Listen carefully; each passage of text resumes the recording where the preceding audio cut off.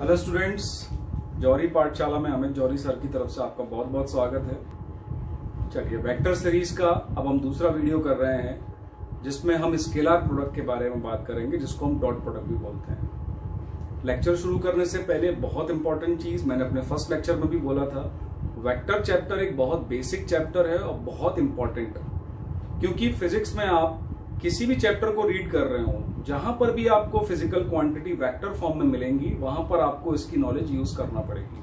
तो इस चैप्टर को काफ़ी अच्छे से और काफ़ी इन डेप्थ में आप समझने की कोशिश करें। चलिए लेक्चर शुरू करते हैं सेकेंड जैसा कि मैंने बोला था फ़र्स्ट लेक्चर में जब मैंने पूरा रिव्यू किया था वेक्टर का तो उसमें मैंने बोला था कि इसकी तीन इंपॉर्टेंट सीरीज़ में अलग से बनाऊँगा, जिसमें डॉट प्रोडक्ट का एक वीडियो क्रॉस प्रोडक्ट का एक वीडियो रिजोल्यूशन ऑफ़ वेक्टर और एक कुछ इंपॉर्टेंट पॉइंट्स अबाउट वेक्टर जो कि आपके न्यूमेरिकल स्पेशली काफ़ी टफ नुमेरिकल को सॉल्व करने के लिए वो थ्योरम्स आपको काम में आएँगी। तो आज का लेक्चर शुरू करते हैं डॉट प्रोडक्ट के साथ। तो हम अपनी हेडिंग डाल देते हैं डॉट प्रोडक्ट डॉट प्रोडक्ट हो या क्रॉस प्रोडक्ट हो, ये दोनों प्रोडक्ट दो वेक्टर्स के बीच में होते हैं।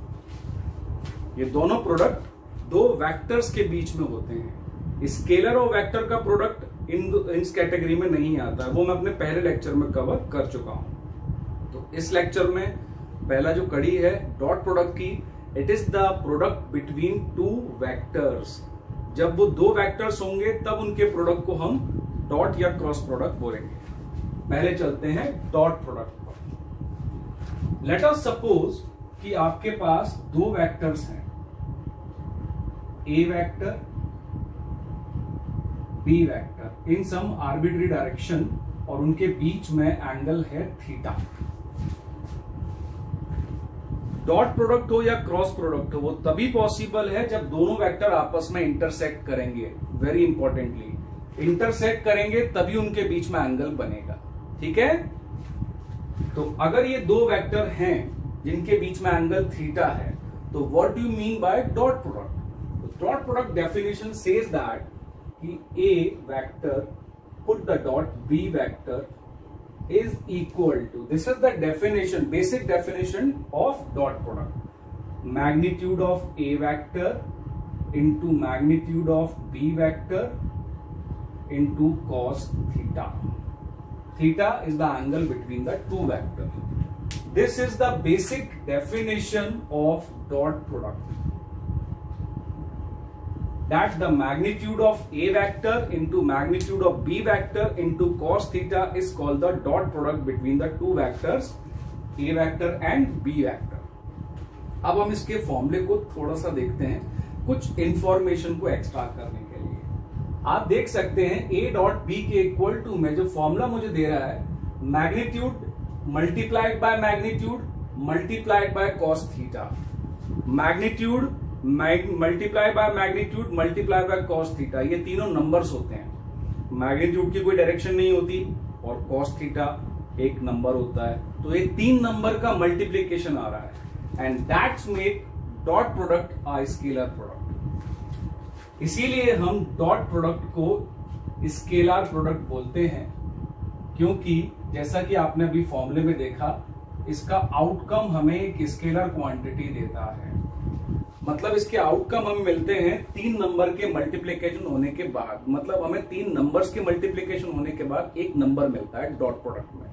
और अगर वो नंबर है that means it is a scalar quantity and that's why we say dot product is a scalar product outcome जो होता है वो स्केलर क्वांटिटी होता है। ठीक है। अब इस लेक्चर को आगे चलते देखते हैं।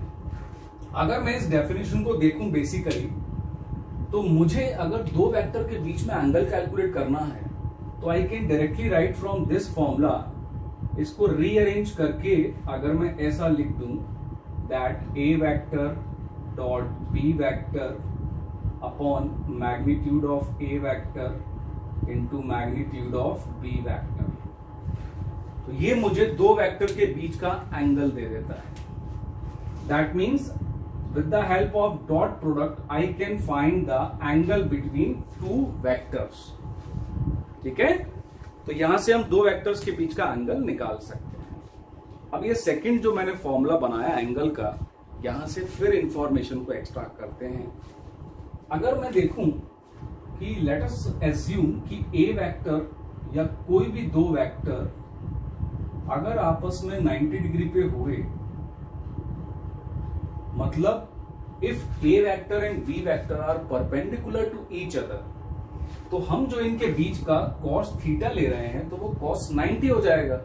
कॉस 90 ज़ीरो होता है which makes dot product zero अगर कॉस 90 ज़ीरो हो गया तो डॉट प्रोडक्ट ज़ीरो हो जाएगा। यहाँ से एक बहुत इंपॉर्टेंट इंफॉर्मेशन हमको मिलती है कि if two vectors are perpendicular their dot product should be zero इस इंफॉर्मेशन से भी काफ़ी क्वेश्चन सॉल्व हो जाते हैं। तो हम यहाँ लिख सकते हैं इस इंफॉर्मेशन को एक टैग बना के कंडीशन ऑफ़ परपेंडिकुलरिटी जो हमने इंफॉर्मेशन एक्सट्रैक्ट किया, उसको हम एक टैगलाइन बना देते हैं condition for perpendicularity of vectors और कंडीशन हमने अभी अभी एक्स्ट्रैक्ट क्या की है? कि if vectors are perpendicular to each other the dot product between them should be equal to zero इसको इंपॉर्टेंट पॉइंट मार्क कर देते हैं।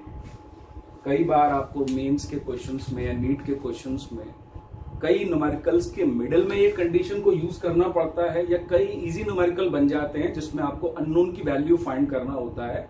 कंडीशन दी होती है vectors are perpendicular to each other तो आप ये कंडीशन का यूज़ करेंगे तो आपको अननोन फाइंड करने में हेल्प तो इसकी बेसिक डेफिनेशन हो गई। स्केलर प्रोडक्ट क्यों बोलते हैं हमने वो समझ लिया।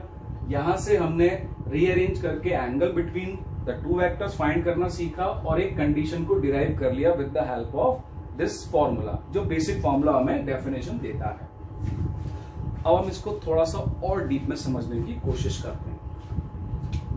अगर मुझे वेक्टर्स जो ए वेक्टर है, अगर वो मुझे ऑर्थोगोनल फॉर्म में दिया हुआ है ऑर्थोगोनल फॉर्म ऑफ़ वेक्टर मैं अपने पहले वीडियो में भी बता चुका हूँ कि vector represent in the form of unit vectors i j and k cap which is along the x y and z axis respectively अगर ऐसे दिया हुआ है मुझे वेक्टर जो मैं यहाँ एज्यूम कर रहा हूँ a one i cap plus a two j cap plus a three k cap similarly I am assuming that b vector का value is b1 i cap b2 j cap, and b3 k cap. अगर ये a और b vector मुझे orthogonal form में दिए हुए हैं orthogonal vector मतलब i, j एंड k की फॉर्म में अगर मुझे दिए हुए हैं तो मैं डायरेक्टली इनका डॉट प्रोडक्ट फाइंड कर सकता हूँ।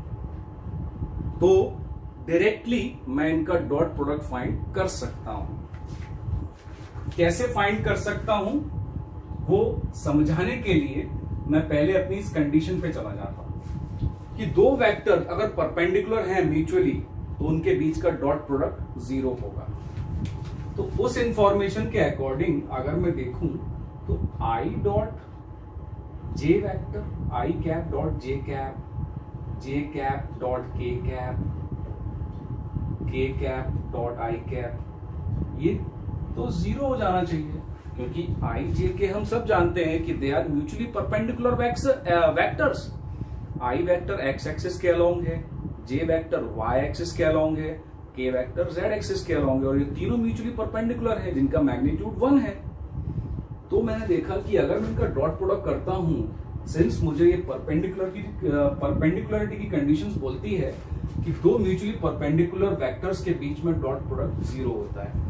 यहाँ से मुझे एक इंफॉर्मेशन मिल गया। यहाँ से दूसरी इंफॉर्मेशन इसको स्टार बना देते हैं। मुझे दूसरा स्टार भी मिलता है। कि अगर मैं दो सेम वेक्टर्स का डॉट प्रोडक्ट ले लूँ, दो सेम यूनिट वेक्टर का अगर मैं डॉट प्रोडक्ट ले लूँ तो वो हमेशा वन आएगा। क्यों? क्योंकि डॉट प्रोडक्ट की बेसिक डेफिनेशन के अकॉर्डिंग मैग्नीट्यूड को मल्टीप्लाई करना है with the cosine of the angle between them अगर वो दोनों सेम वेक्टर्स हैं तो उनके बीच का एंगल ज़ीरो हो जाएगा कॉस ज़ीरो वन होता है। तो one into their magnitude since they are unit vectors तो वन इंटू वन तो इन सब का प्रोडक्ट वन आ जाएगा। तो ये दो स्टार पॉइंट से मुझे बहुत अच्छी इंफॉर्मेशन मिलती है कि टू अगर किसी वेक्टर को ऑर्थोगोनली रिप्रेजेंट करके मुझे दिया जाए आईजेके की फॉर्म में तो मैं बिना एंगल को जाने मतलब अगर मुझे एंगल नहीं भी बताया जाएगा तो भी मैं इनके बीच का डॉट प्रोडक्ट फाइंड कर सकता हूँ via using these two conditions तो इस कंडीशन से जब मैं इनके बीच में डॉट प्रोडक्ट लूँगा तो मुझे अब सिर्फ़ क्या करना है, मैं यहाँ लिख देता हूँ a vector dot b vector तो मैं डायरेक्टली कर सकता हूँ विदाउट अप्लाइंग दिस फॉर्मूला मुझे अब क्या करना है रिस्पेक्टिवली कॉफिशियंट्स को मल्टीप्लाई करना है। आई वाले आई वाले के साथ जे वाले जे वाले के साथ और के वाले के वाले के साथ। क्यों? क्योंकि जो आई जे और आई के आएगा, वो तो ज़ीरो हो जाएगा as per this condition of perpendicularity तो मेरे लिए बहुत इजी हो गया। अगर मुझे ऑर्थोगोनल फॉर्म में वेक्टर्स दिए हुए हैं तो मैं इनके बीच का डॉट प्रोडक्ट बहुत इजीली फाइंड कर सकता हूँ विदाउट नोइंग द एंगल तो ये आ गया मेरा डॉट प्रोडक्ट। जैसे ही मुझे आईजेके की फॉर्म में दिया हो और अगर मुझे एंगल कैलकुलेट करना हो तो मैं एंगल भी कैलकुलेट कर सकता हूँ। डॉट प्रोडक्ट में डायरेक्टली यहाँ से कैलकुलेट कर लूँगा और फिर मुझे डॉट प्रोडक्ट को उनके मैग्नीट्यूड से डिवाइड करना है। तो उस केस में फिर मैं मैग्नीट्यूड निकाल लूँगा। आप सभी लोगों को पता होगा मैग्नीट्यूड कैसे कैलकुलेट करते हैं, लेकिन मैं यहाँ पर एक बार उसको आपको रिमाइंड करा देता हूँ। ये तो मैंने लिखा डॉट प्रोडक्ट न्यूमिनेटर में डिनोमिनेटर में मुझे ए का मैग्नीट्यूड लिखना है, जो कि क्या होता है? Square root of the sum of the square of their coefficients multiplied by magnitude of b vector, again. ये मुझे इनके बीच का एंगल मिल जाएगा। अगर मुझे दो वेक्टर आईजे के फॉर्म में दिए हुए हैं तो I can find a dot product via this by respective multiplying the i वाला कॉफिशियंट आई वाले के साथ जे कैप का कॉफिशियंट जे वाले के साथ और के कैप का कॉफिशियंट के वाले के साथ। इनका मैग्नीट्यूड फाइंड करना मुझे आता ही है।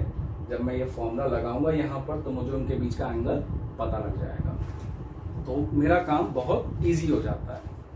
So this is about the basic definition basic formula how to find the angle between two vector using the dot product condition जो हम एक्सट्रैक्ट करते हैं डॉट प्रोडक्ट से कंडीशन ऑफ़ परपेंडिकुलरिटी तो ये हुआ एक उसका बेसिक पिक्चर आई होप आप लोगों को समझ में आया होगा। चलिए, इसके नेक्स्ट पार्ट पे चलते हैं कि सर डॉट प्रोडक्ट हमें ज्योमेट्रिकली क्या देता है? तो हाउ हम इस पे आते हैं ज्योमेट्रिकल इंटरप्रिटेशन पर।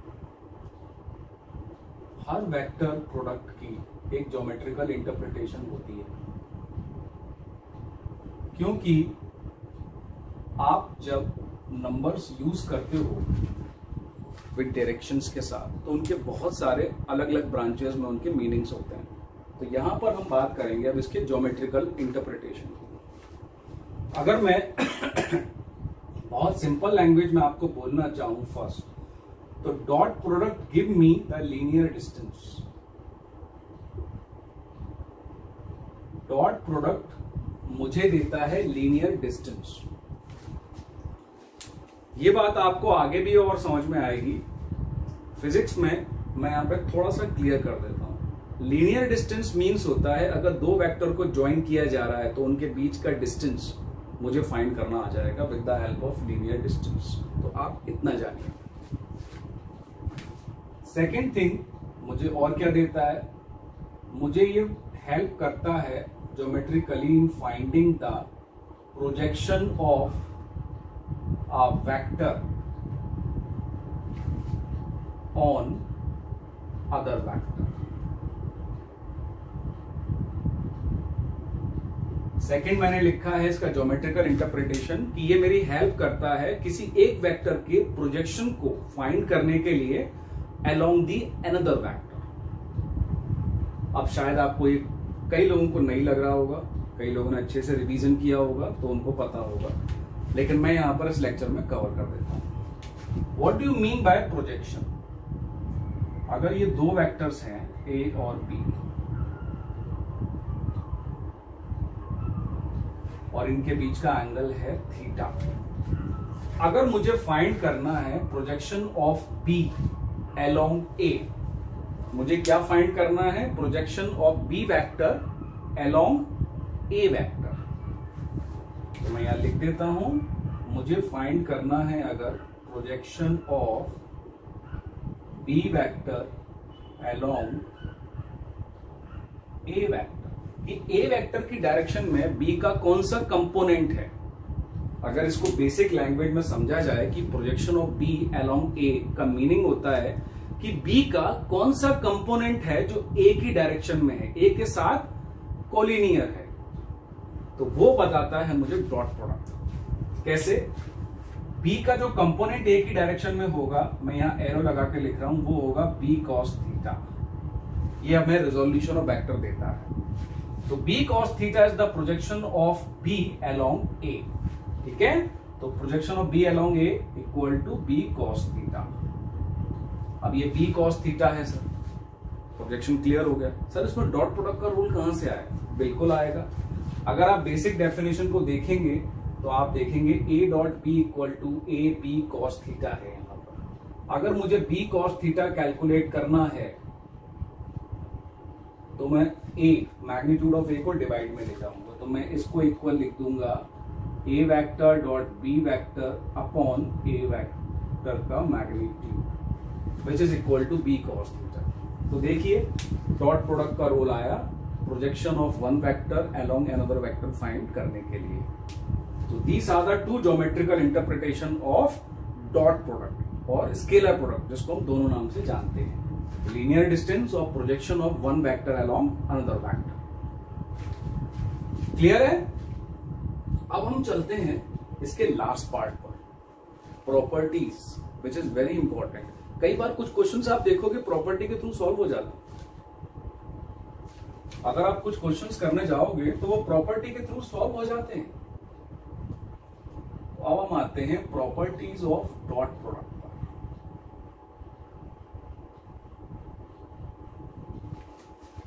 Do you mean by properties of dot product? First property. A vector dot b vector is equal to b vector dot a vector means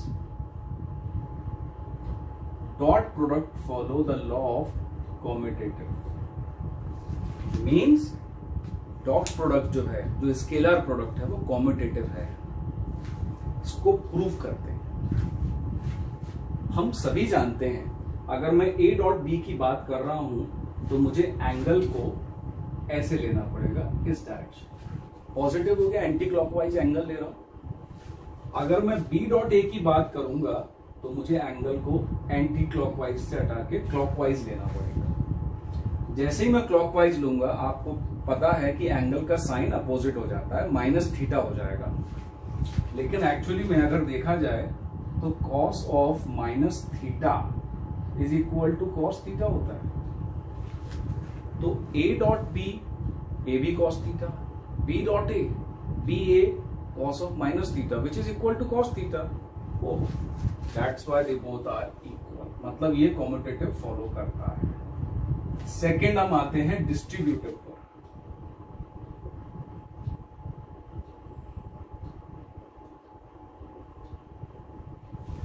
distributive को अगर कॉमन लैंग्वेज में समझा जाए तो आप बिल्कुल एज इट इज़ जैसे एल्जेब्रा में करते थे मैथमेटिक्स के अंदर, कि अगर दो नंबर्स ब्रैकेट के अंदर हैं और एक टर्म बाहर है तो जिस तरह से उनका मल्टीप्लाई करना है, बिल्कुल वैसे ही कीजिए विद साइन के साथ। वही है डिस्ट्रीब्यूटिव लॉ अगर मैं यहाँ लिखता हूँ a vector dot b plus c vector तो जैसे हम मैथमेटिक्स में करते हैं, कि first we have to multiply a with b yes यहाँ पे भी वही करना है आपको। कोई नया गेम नहीं है। फिर हम बीच में जो भी साइन होता है, वो पुटअप कर देते हैं। फिर उसका वेक्टर दूसरे से मल्टीप्लाई हो जाता है। बिल्कुल सेम यहाँ पर भी करना है आपको। तो that means vector dot product जो है स्केलर प्रोडक्ट वो दो प्रॉपर्टी को फॉलो करता है कॉम्पिटेटिव और डिस्ट्रीब्यूटिव कॉम्पिटेटिव मतलब उनकी सीक्वेंस को अगर आप चेंज भी कर दोगे तो भी स्केलर प्रोडक्ट पे कोई इफ़ेक्ट नहीं आएगा। ए डॉट बी हो या बी डॉट हो, दोनों सेम होते हैं। डिस्ट्रीब्यूटिव जिस तरह से मल्टीप्लाई करते हैं, उसी तरह से एल्जेब्रा के अलावा हम वेक्टर्स में भी वो डिस्ट्रीब्यूटिव फॉलो कर सकते हैं ब्रैकेट को ओपन करने के लिए। So these are the two properties तो आज के लेक्चर में हमने डॉट प्रोडक्ट के बारे में पूरा जाना। बेसिक डेफिनेशन उससे एक्स्ट्रा किया इंफॉर्मेशन उससे हमने कंडीशन डेवलप की परपेंडिकुलर ऑफ़ टू वेक्टर्स के लिए। फिर हमने आईजेके का रिलेशन बनाया कि अगर परपेंडिकुलर वेक्टर्स हैं तो उनके बीच में डॉट प्रोडक्ट ज़ीरो होना चाहिए। अगर सेम वेक्टर हैं और वो यूनिट वेक्टर्स हैं तो उनके बीच का डॉट प्रोडक्ट वन होना चाहिए। वहाँ से फिर हमने एक्स्ट्रा किया एक इंफॉर्मेशन कि अगर मुझे दो वेक्टर्स ऑर्थोगोनल फॉर्म में दिए हैं आईजेके की फॉर्म में तो मैं डायरेक्टली उनके बीच का डॉट प्रोडक्ट निकाल सकता हूँ by multiplying with respective coefficient of i j and k तो वहाँ से मैंने फिर एंगल निकालना भी, इसका सीख लिया बेसिक फॉर्मूले में रख के। फिर मैंने इसकी ज्योमेट्रिकल इंटरप्रिटेशन आपको बताई और इसकी प्रॉपर्टीज़ आपको बताई। आई होप आपको ये लेक्चर समझ में आया होगा। मेरे वीडियोस को आप 21 जो भी लोग एस्पेरेंट्स 21 के लिए जी मेन और एडवांस और नीट को फॉलो कर रहे हैं, वो प्लीज़ लेक्चर को फॉलो करिएगा। दूसरी बात ऐसे बच्चे जो 22 में देने वाले हैं, उनके लिए भी लेक्चर काफ़ी यूजफुल होगा और उनके लिए मैं अलग से और यूजफुल मतलब और डिस्क्रिप्टिव लेक्चर भी बनाऊँगा। हर लेक्चर के बाद उस लेक्चर पे बेस्ड बहुत सारी प्रॉब्लम्स होती हैं। अगर आप प्रॉब्लम सॉल्व नहीं करेंगे उस पर बेस्ड तो आपको लेक्चर धुंधला सा रहेगा ब्लर रहेगा। प्रॉब्लम सॉल्व करने से आपको एक होता है कॉन्सेप्ट जानना कॉन्सेप्ट आपने जान लिए अब उनको अप्लाई कैसे करें? तो जब आप क्वेश्चंस करते हैं तो आप परफेक्ट होने लगते हैं उसमें। क्योंकि जैसे जैसे आप प्रैक्टिकली आते हैं प्रॉब्लम सॉल्व पे आते हैं तो प्रॉब्लम सॉल्विंग स्किल आपको वो रिमाइंड कराती है कि ओके हमें इस तरह से कॉन्सेप्ट को यूज़ करना है। तो मैंने उस अपने हर लेक्चर के वीडियो में डिस्क्रिप्शन बॉक्स में डीपीपी डाले हुए हैं, उस लेक्चर पे बेस्ड आप उसको सॉल्व करें। उसको सॉल्व करने के बाद आपको किसी भी क्वेश्चन में किसी भी तरह की प्रॉब्लम आती है तो आप मुझे कमेंट करके बताएँ।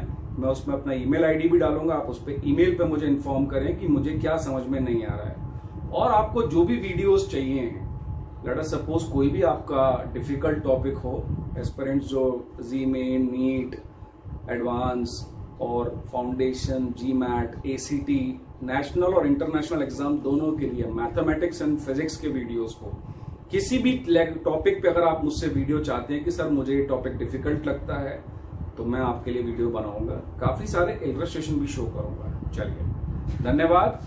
आपका दिन शुभ हो। अच्छे से पढ़ाई कीजिए। Thank you